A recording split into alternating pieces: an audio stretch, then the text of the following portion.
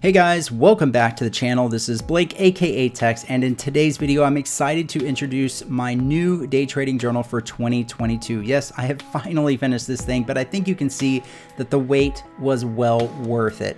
So in this video, we're gonna walk you through all of the features that I incorporated into this journal, and I'm gonna show you exactly how you can get your hands on it. So as always, guys, I really do appreciate you watching. Let's go and roll the intro and we'll jump right in.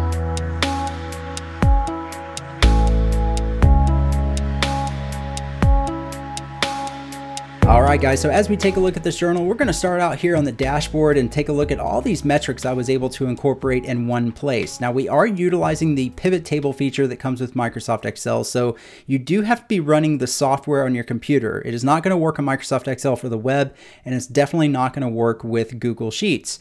But as you can see, we have metrics all across the top of the journal here that are incredibly helpful. Of course, our, our net return, things like our profit factor, our average return. Uh, this one I especially love, our average average risk. It's on a trade weighted basis. So we can see with uh, the entire sample size of trades that I put into this demo journal, there's 36 trades in here. On average, we're realizing a little over two times our risk. We can see how we are doing on losing trades and winning trades as well, and the total R that we've been able to realize. Of course, our winning percentage here, and then we can see our performance across all of our accounts directly compared to that of the S&P 500. Great way to see if we're beating the market or not.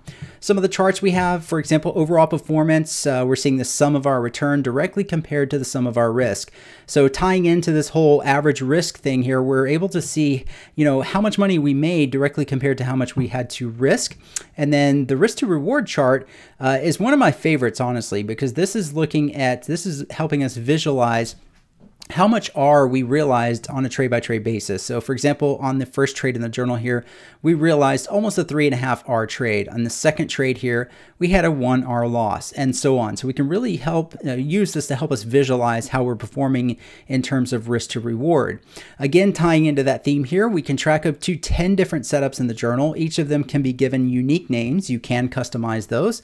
And we can see how we are performing on each of those setups directly compared to our risk that we had to put on for that performance. So obviously the PCH setup, definitely our most profitable here, almost $25,000 in profit. We had to risk $6,500 though to make that. And then over here on the bottom, we can see that the flag setup seems to be our least profitable, losing about $6,200. Okay, so as you can see, a great way to visualize your overall performance and help you find your edge in the market. As we scroll down towards the bottom, of course, we have our weekday performance, our time of day, and trade duration. So the trade duration is actually calculated in units of minutes. So with that in mind, the journal really is kind of designed for day trading in mind, but you can also use it for swing trading. Um, it's only going to really support a trade duration up to a month. You could certainly have trades in the journal that lasted longer than a month, but it's only going to track trades up to about a month in duration. Uh, maybe at some future version, we'll figure out a way to uh, calculate other units besides minutes like hours and days, but for right now, it is set up to calculate uh, hold time in minutes. So as we look at this thing, what I want to show you right here is the way that we can kind of filter down our data and make sense of this. You can see that we have all these different instrument types that you can track in this journal. So no matter what you trade, this journal should have you covered. You can trade options, you can track things like uh, calls, puts, or maybe even option spreads. Of course, if you're trading good old equity, shares of a stock, uh, future contracts, Forex, and even crypto. So for example, let's say that I, I trade all of these things, which this journal does have trades of all of these instruments in it And I only want to look at my crypto trades. So I just come over here and click on crypto, make it super easy, and I can see my performance across the dashboard has been updated to reflect only my crypto trades. You can see that the first trade uh, in the journal was a crypto trade with almost a three and a half R win. The 10th trade here in the journal was also a crypto trade with almost an 8R win. And then the next two trades, the 16 uh, trade number 16, trade number 30, just 1R losses and so on. You can see over here that our biggest win with crypto is a $2,300. Our biggest loss was $1,000 uh, and so on. So again, we can really easily filter down. And as you click these filters and you start filtering down your data, everything on the slicers is going to update to show you what you're looking at. So looking at crypto here, it looks like there's three different time frames that we have traded on. There's all these setups that we traded with crypto. We have some long and some short trades, and all of our crypto trades were in account number three. Over here, you can see the ticker symbols that were traded with crypto, and you can see the dates that actually have crypto trades listed here. And we can see what entry process, exit process, management, and trading errors that we have logged within those crypto trades. So we can come over here and clear that filter out. Let's say that we want to filter by a specific account. You can track up to four different accounts in the journal and you can give them unique names. Let's say that we want to look at all the trades that we've taken in account number two. If we click on that, you'll see that again, everything on the dashboard updates. It looks like account number two, we've lost about $3,800. We see our profit factor, our average risk, and all of these metrics for that specific account. These are the ticker symbols that we have traded inside of that account so we can narrow it down even further. Maybe we want to come and look at just the Amazon trades. Look like there's only one trade in the journal uh, with Amazon and account number two, uh, and it was a losing trade, right? And then as we go through and filter down our data, if we want to go back, we of course just go out and clear out our filters and we get back to where we are seeing all of the trades inside of the journal. Uh, if we want to come in and maybe dive into our setups and help us find our edge in the market, uh, clearly, it seems like the PCH and the Blackmagic setups seem to be the best for us, but maybe you want to dive into why this flag setup isn't working out very well for us. So let's come over here and click on the flag setup, and we're going to filter everything down to just that particular setup. Looks like we lost about $6,200 there. Uh, profit factor says no data because there's simply no winning trades. You can see that we took a total of four trades here in the journal. Two of them were long, two of them were short, but not one of them was a winning trade. So of course you have to have both winning and losing trades to calculate things like profit factor. So you might see that pop up here in the journal. But when we dive into this, we can see that, okay, trade number eight and trade number 30 were both basically one R losses. What I'm interested in is what happened here on trade number 31. Looks like we had almost a 2R loss. Let's come over here and click on edit trade. That's going to pop open this little uh, trade history window that I coded. And we can come down here and take a look at trade number 31. Let's pull this up. We'll click on edit here opens this thing and we could actually come in here and edit this trade right here inside of the journal just using this window but what's great is I can go in here and figure out you know what happened here so we traded square looks like we shorted some puts there's the flag setup 60 minute time frame Looks like we took 15 contracts on it. We were supposed to be risking $1,000, but somehow we managed to lose $1,800. Well, let's come over here. Uh, so entry process looks like we got in late. Uh, stop loss was the exit reason, but however, we look at management and then we moved our stop. So we traded outside of our risk, clearly. Plus, we chased the trade on top of that. And then we have some notes here that says, you know, didn't sleep well, letting my foggy head trade outside of my risk. So really good example of how you can dive into a specific trade as you go through your data on your dashboard here and figure out, you know, what happened and how can I improve in that particular area. So very, very powerful way, again, to filter through your data.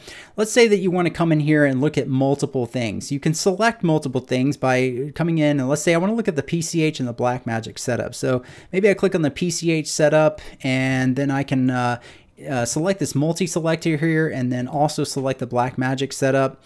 So that will crunch the numbers. There we go. Now we're only looking at trades with the PCH setup and the black magic setup. Uh, maybe I want to narrow that down a little bit further and look at only 60 minute PCH and black magic setup. So I can come in here and select the 60 minute time frame. Okay, we filtered it down even further. Looks like we're looking at uh, six trades total here. Uh, some of those were, were uh, with calls, crypto, and future. Let's click on the call and see what we get here. Okay, so now we're filtering things down even further. Again, we're looking at only the Black Magic and the PCH setup on the 60 minute time frame and calls. So there were four trades taken, and it looks like one of them was a really nice winner, and then just a couple of other uh, one loss and a couple of other small losses. You can see that the ticker symbols we traded with those specific filters are listed here, and the dates here. Okay, so as we filter down our data, when we're done, we go through and we kind of clear out these filters here. We'll get back to where we're looking at everything in the journal. Um, as you start adding a lot of trades in the journal, you're going to have like over hundreds of trades. These charts here will probably get pretty compressed, but what you can do on this overall performance chart, you can come in over here and zoom out and look at it on a month by month basis instead of a day by day basis. But the other thing you can do is really filter down and look at a shorter time frame, right? So let's say I only want to look at the trades that I took in February. Click on February, and now you can see that we're only looking at February. Uh, maybe I want to also include March. We'll drag this over like that, and now we're looking at only February and March. Or maybe I want to include the whole first quarter, right? So which is three months. Okay, so again, we can filter down our data to look at just that. Okay, so that's a great example of how you can filter through your data. Uh, just a quick run through the rest of the journal here. Here is the trades page. This is where all of the trades are stored in a table format. And as I showed you with the user forms that I created, you don't have to come in here and enter your trades in in the traditional method that you would with an Excel spreadsheet. Uh, you can access that over here on this page as well by clicking that add edit button. Here's your trade history, the same as what you're seeing back here. You can come in here and select any one of these and click on edit and you can edit that that trade, you can delete the trade, or you can also click on new to create a new trade, all within this user form right here. We'll close all of this down. If we go to the settings page, this is gonna be where you can come in and customize the journal. As I said, you can track up to four different accounts in this journal. You can give them unique names. So let's say that maybe you only trade two accounts. You could delete these. You could maybe call this one your day trading account and you could call this one your swing trading account. You would enter the beginning balance for each of these accounts. And then once you set these up, when you create your, uh, when you're just setting up your journal, you do not change them again, right? So when you set these up, it's going to change all of your menu options throughout the journal and uh, and you're all good to go. Now you could come in at a later date and add a couple more accounts here if you if you needed to, but otherwise that's that's how easy it is to come in here and uh, set up your accounts. Um, over here is where you can customize things like the names of the setups that you like to trade. You can track up to 10 different setups inside of the journal and you can give each of them unique names. Let's say that you only trade three setups. You can delete these and then you can change the names of these three setups to whatever you like to trade. Um, likewise, you can track up to 10 different time frames. You can track your entry process, your exit process, your trade management, and things like trading errors or emotions, whatever you wanted to uh, call it over here on this side. You can change the names of those and track um, up to 10 different things there as well. Um, here's where you enter in the closing price of the S&P as of your first trade date that allows you to compare your performance directly to that of the market. And then lastly here, you can track account transactions such as deposits, withdrawals, dividends, and interest. And that way you keep your account balances up to date. All right, guys, so with all of that said, how do you get a copy of this journal? Well, I'll put a link in the description below, but if you head over to my website, textrading.net, you'll be able to access it through the store. I am going to be charging for this given the amount of work. I think you can see that the journal has uh, a lot of features incorporated into it. I spent a lot of time on this, so I think it's well worth it. I'm making it very affordable for you guys. I'm offering it here for a promo promotional rate of $24.95, and it is a one-time fee. So once you uh, come down here and you purchase it on my website, your credit card payment will be processed through Stripe. And uh, once that's done, it will email you a link to download the journal and uh, it will be all yours. Now, some requirements here. It does require Microsoft Excel 2016 or later. Um, Office 365 is preferred, but basically it just needs to support the pivot table features, whichever Excel version you are using. Um, so it does require Excel to be running on your computer. It's not going to work on Excel for the web and it's not going to work or is it supported for Google Sheets. And then also it's not designed as a first in, first out transactions uh, journal. So in other words, it doesn't track every single transaction. If you had multiple entries and multiple exits in and out of one trade, it's not really designed to track each of those transactions because there's simply not a an import feature at this time. It's something I'm looking at doing in the future that would allow you to import all of your transactions from your broker. But for right now, I wanted a journal where I could track my performance on a trade by trade basis. So just keep that in mind. Um, lastly, all sales are final just because of the nature of the product. I can't verify returns, but if you have a problem with it or anything, I will provide support. You can contact me through the website or if you follow me on Twitter or Discord, uh, please don't hesitate to reach out to me there, and I will definitely be happy to uh, to help you out. So, guys, I really appreciate you tuning in. I hope you enjoyed this journal. I look forward to uh, hearing your feedback, and as always, I hope you're doing well. Thanks for watching. Take care, and we'll see you soon.